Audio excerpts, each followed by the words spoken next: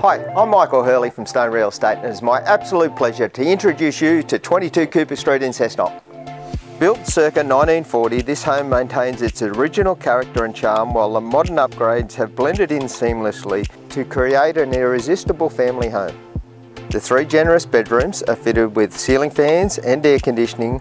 Master enjoys gorgeous city views, a bay window and a modern ensuite. The large living area features a stained glass side entry door, bay window, air conditioning, ceiling fan and gas heating. A modern kitchen divides the lounge and dining and features electric cooking, dishwasher and original fuel stove, while the crisp main bathroom features a clawfoot bathtub. A large modern double garage completes this exceptional property. Sitting on a 809 square metre R3 medium density corner block in Cessnock's most popular location, this is a must-see home.